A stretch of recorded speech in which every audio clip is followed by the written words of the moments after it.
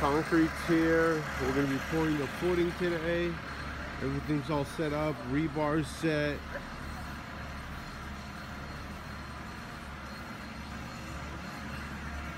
This is for the six foot block wall, 60 linear feet.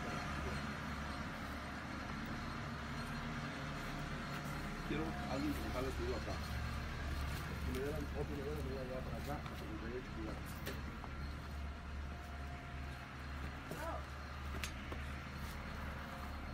It's trenched correctly. Rebar horizontally, vertically every four feet.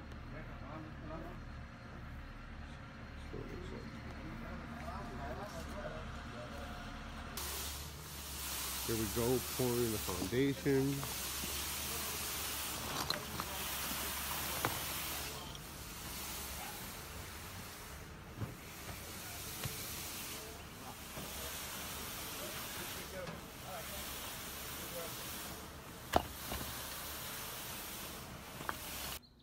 There we go, waiting on the final inspection. The inspector, everything's all grouted. Just needs to come by, look down, see that the rebar's there, and we can put the final caps on. This is what it looks like.